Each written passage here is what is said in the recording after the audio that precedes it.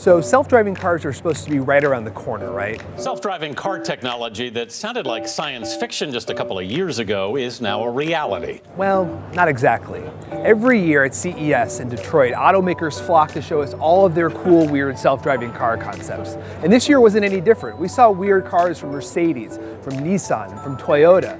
And while the cars are definitely getting smarter and the technology is undoubtedly getting better and better, the day when you'll be able to buy one of these cars, or even ride in one, it's a lot farther out than you think.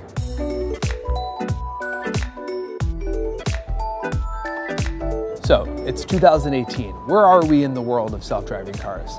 The big takeaway from CES in Detroit was that automakers have stopped talking about demonstrating the technology or how good the technology is and started talking about how this technology is going to be used and how it's going to make them money. And that's a big deal. But it might lead people to think that they're going to start seeing driverless cars rolling down Main Street any day now. They're going to be very expensive initially, you know, especially you know vehicles that have really robust uh, systems with redundant computing systems, uh, full sensor suites of camera, radar, and lidar, uh, and all the other features that are going to be part of these vehicles.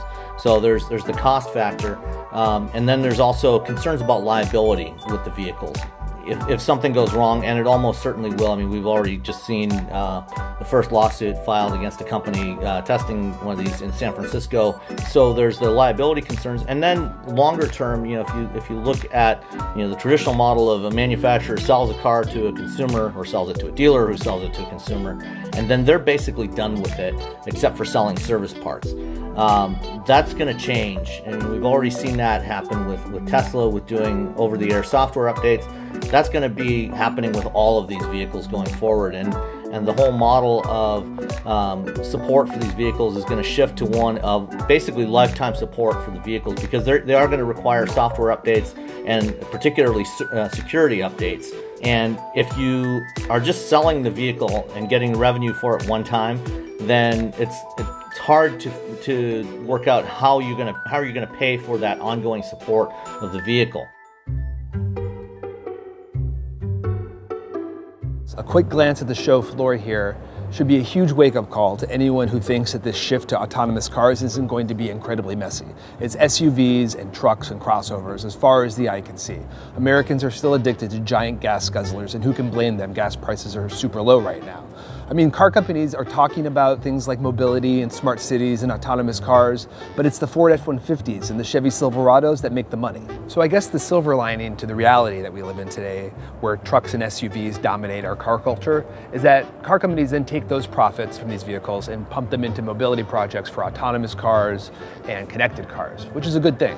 So in 2019, we're going to start to see some of these projects move into more cities. And then by 2020, we're going to start seeing cars without steering wheels or pedals hit the road, fully driverless cars. And that's going to be a really, really big deal.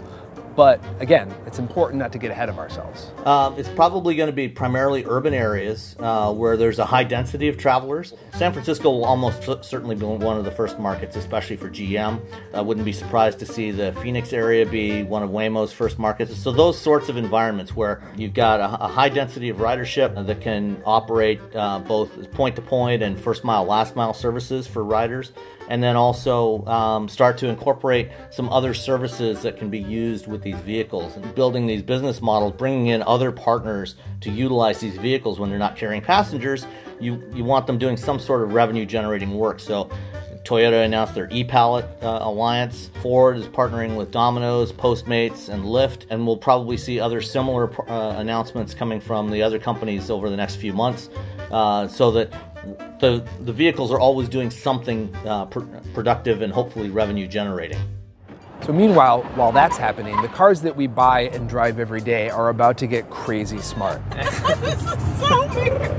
I'm thinking Tesla with autopilot or Cadillac with Super Cruise, these highly automated driver assist systems that basically let people take their hands off the wheel and their feet off the pedal and the cars, for all intents and purposes, drive themselves.